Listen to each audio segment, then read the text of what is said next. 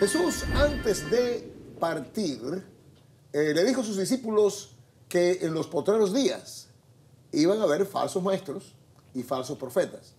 Y esto claramente es algo muy peligroso para toda la humanidad y sobre todo para la iglesia de Cristo. Por eso hoy eh, me acompañan aquí en el estudio la pastora Inés López, quien lleva más de 25 años enseñando la palabra de Dios y en diferentes plataformas. Y también nos acompaña la pastora Ana Milena Fernández, directora de nuestro Instituto Bíblico Alfa y Omega. Bienvenido. Muchas gracias. eh, hermanas, señoras y ministros. Amén. Gracias. ¿Cómo están ustedes? Estamos muy bien. ¿Estás bien? Gloria a Dios. Qué lindo saber eso. Bueno, oye, eh, eh, ustedes tienen gran experiencia en, en enseñando la palabra de Dios eh, y entonces quiero que el público tenga este sentido de lo que está pasando y esté alerta. Lo que queremos es alertarte a ti para que no seas engañado. Así es. Bueno, eh, yo estimo que una de las circunstancias que hay en el momento es que se denominan maestros, pero en realidad son informantes. Dan información. Ah, una cosa es ser maestro y otra cosa es ser informante. Exactamente. Lo que pasa es que no saben cómo eh, denominarse a lo que están haciendo y se llaman maestros, pero en realidad no enseñan. Lo que hacen es dar información. Porque eh, enseñar o decir lo que uno sabe no es enseñar, es informar a la persona, que es lo que está haciendo y muchos de estas personas que están en estos momentos en, en las cosas públicas informando, eso es lo que están haciendo. Cuando los noticieros informan, el público hace ideas ellos mismos de lo que han de la información que han recibido. Sin embargo, el maestro enseña específicamente para que la persona pueda aprender. No es solamente información, sino hay revelación. Ahora bien, pe- más peligro es aún. Hay ese tipo de, de maestros que no son maestros, son informantes, como tú dices. No me han enseñado nada, he perdido mi tiempo. Pero hay algunos que sí enseñan y pueden enseñar doctrinas falsas. Claro, eso, es- eso, es- eso es Eso es otra otra área. más. Mucho más profunda. Adicionalmente también, y considero yo que muchas veces no es tanto el mensaje que se da, porque aparentemente puede ser un mensaje que luce cierto. Fíjese usted, por ejemplo, en, el, en, en la palabra nos enseña que eh, Satanás utilizó la palabra, la escritura, para atentar a Jesús. Exactamente, Habló algo cierto. El problema es la fuente, pastor. Claro, no es el mensaje tanto porque el mensaje puede lucir verdadero, el mensaje puede lucir cierto. La- la- el, el- el problema, la situación es la fuente de donde está saliendo este mensaje. Y las redes sociales, eh, la internet, toda esta tecnología, da la posibilidad a fuentes no verídicas, a fuentes no fidelignas, a exponer una información que puede. ¿Cómo podemos reconocer un maestro, un maestro falso entonces? Porque en la internet hay maestros que son correctos. Bueno, yo estoy en la internet.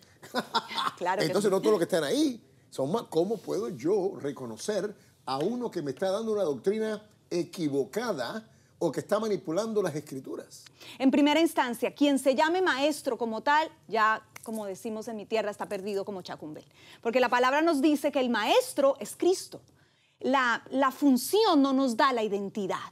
O sea, yo no soy maestro, yo tengo la función de maestro.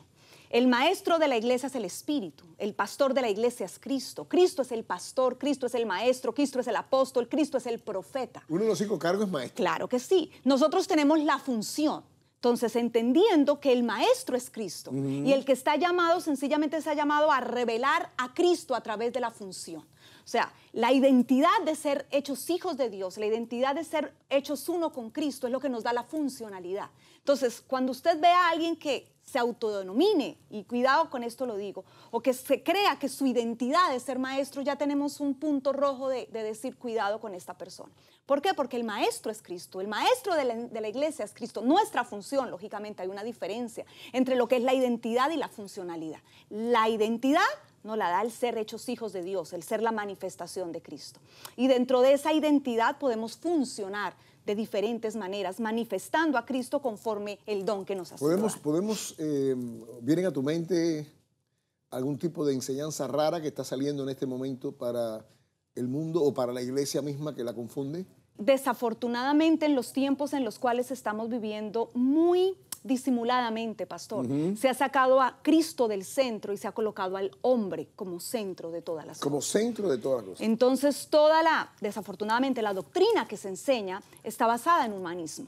Cómo Cristo es una herramienta para facilitar el camino del hombre. Ajá. Cuando realmente eh, la doctrina básica del cristianismo nos enseña que el centro es Cristo, el fundamento es Cristo.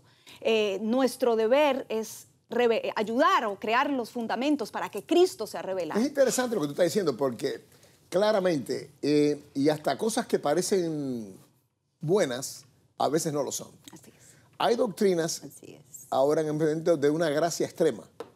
Una gracia extrema que permite que tú hagas todo lo que te dé la gana y todo lo que desea tu carne.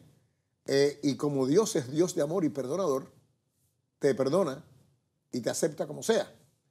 Eh, lo cual no es cierto. Estamos llamados que tiene que haber un elemento de arrepentimiento. Y si, y si hay un elemento de arrepentimiento, es porque Dios espera que te arrepientas para poder...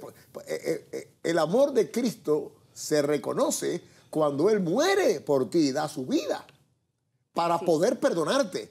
Pero Él no te puede perdonar a no ser que haya un arrepentimiento. Y eso está basado en las Escrituras.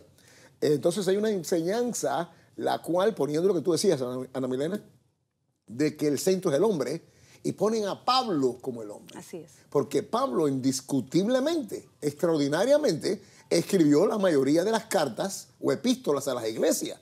Y no creo que hubo un otro apóstol con mayor revelación que Pablo, indiscutiblemente. Siendo él uno que no era de los doce del Cordero, porque él no caminó con Cristo, pero indiscutiblemente tuvo su experiencia extraordinaria con el Señor. Pero Pablo nunca estableció ningún punto de que él era el centro. Así es. Pero entonces, como las enseñanzas de él son tan eh, eh, eh, vastas y tremendas, eh, por la revelación que nos da, muchos lo tienen a él ahora. Y decir, no, que Pablo dijo, Pablo dijo, Pablo dijo. Tenemos que reconocer que ni Pablo, ni Pedro, ni Moisés, ni los profetas escribieron la Biblia. El Espíritu Santo la escribió a través de ellos.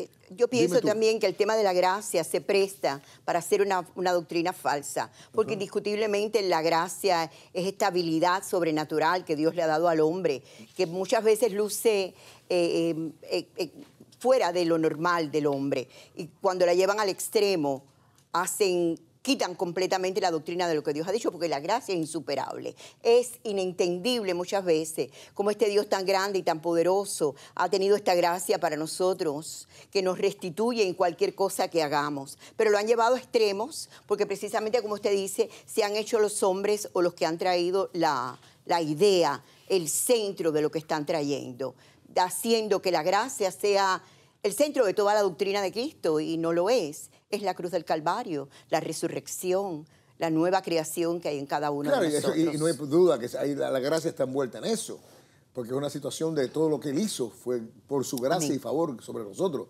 Pero el punto es que él tiene que permanecer el centro. Cristo tiene Amén. que permanecer el centro. Y si no permanece él en el es. centro, entonces ya empieza a desviarse eh, manipula- manipuladamente lo que pasó en la cruz del Calvario.